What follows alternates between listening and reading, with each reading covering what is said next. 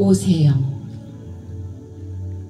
시가채에서 야채, 안바춘지나 갸솔라 패스를 넘었는데 갑자기 하늘하늘 꽃잎들이 흩날리고 있었다.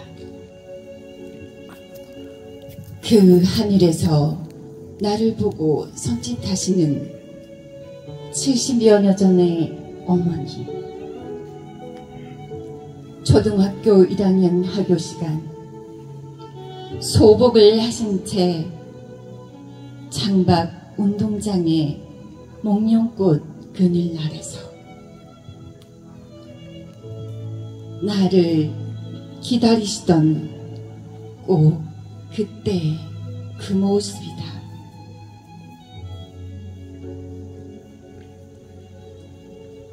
아가, 예서 그만 돌아가거라.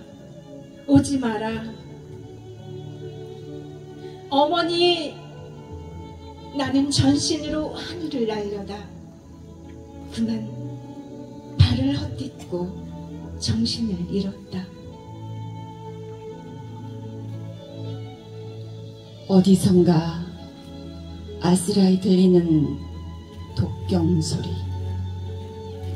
목탁 소리, 덜컹거리는 지프의 차박기 소리.